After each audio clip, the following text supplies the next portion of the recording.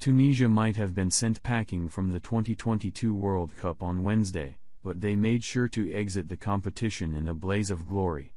Having opened up their campaign with a solid 0-0 draw against Denmark, the North African nation were left with everything to do when they suffered a 1-0 defeat to Australia next time out. The stars could still have aligned for them to reach the round of 16 in spite of their winless start, but the identity of their final opponents made everyone feel pretty sure that was unlikely, world champions France.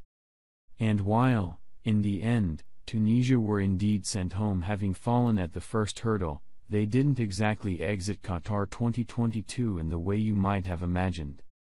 That's because, remarkably, Tunisia kept up their end of the deal as they sensationally secured a 1-0 win over the holders courtesy of Wahbi Khazri's strike early in the second half.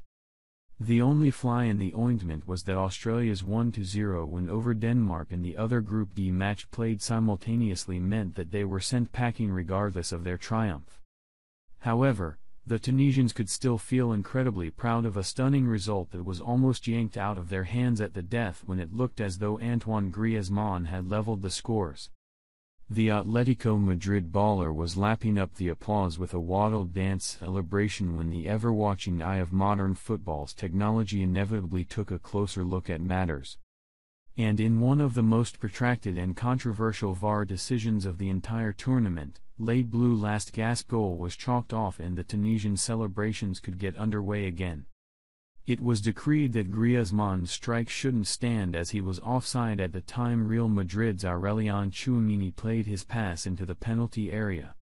Only, the controversy came from the fact that a Tunisia player attempted to clear the ball with a header in between Tchouameni's pass and Griezmann finding the back of the net. So, be sure to draw your own conclusions from the dramatic moment that Tunisia's famous win was snatched away from them and then given back when nobody expected it down below. All this, and it happened within the final few seconds of both nations' final group game, chaos.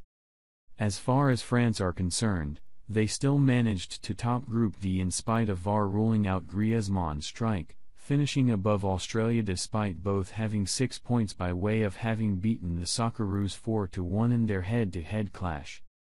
As such, Didier Deschamps men will face the runners-up of Group C which contains Argentina, Poland, Mexico, and Saudi Arabia. Their final group matches take place on Wednesday night.